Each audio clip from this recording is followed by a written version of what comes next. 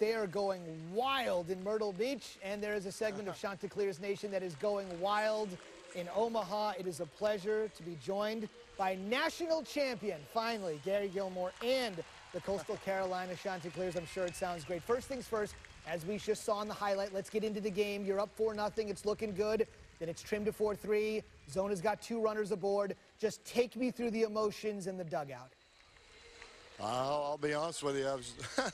I just folded my hands and started praying. To be very honest with you, it was completely out of my hands. So, uh, you know, I was just hoping it was the Lord's will that, that, that we were going to get this done.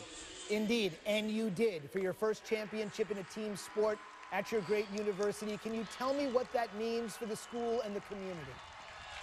Well, when I when I walked in this place 21 years ago, everybody told me, all the former players and all the coaches and people that Coastal Carolina University was the biggest sleeping giant in the country as far as athletics went, and that uh, that baseball was the one sport that we could win a national championship in. And uh, you know, I, I, I, thought that too, and uh, you know, I, I sold that message, and you know, it, it it took me 21 years to find a group to get us here and get it done. Some others came very close to getting us here, but this group, uh, it was just, uh, I had a couple people tell me when we won the thing in Raleigh that we were a team of destiny and we were going to win this thing. And, you know, I, I just kind of laughed uh, or whatever. I just, you know, you, you just never know. But, uh, uh, you know, the, the, kids just never quit. It, it's, it's the most unbelievable collection of personalities and, and guys with passions for, for playing and loving one another. It just, you know, this is a team win. You know, heck, I said it out here a minute ago. We're not the most talented team in the country by any means.